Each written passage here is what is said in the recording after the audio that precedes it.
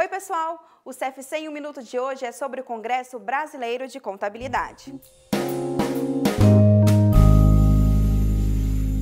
O CBC completa em agosto 95 anos de existência e em todas as suas edições, o objetivo sempre foi o de fomentar a importância da capacitação e do diálogo sobre os desafios da profissão.